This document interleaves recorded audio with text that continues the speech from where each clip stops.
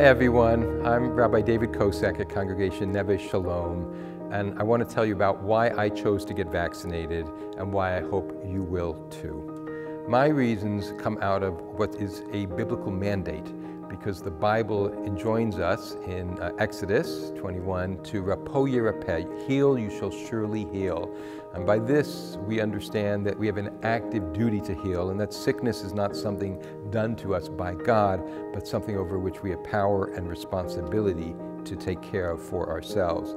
Additionally, in, Ex in Leviticus, excuse me, we learn that you shall not stand idly by on the blood of your neighbor.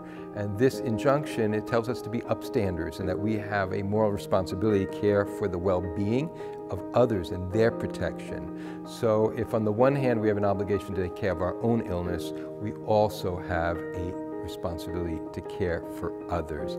And those two injunctions mean that by the 1800s, there was an injunction to get vaccinated in Jewish tradition. It goes back a long way. I'm so glad that I got vaccinated. It removes a lot of fear in my life.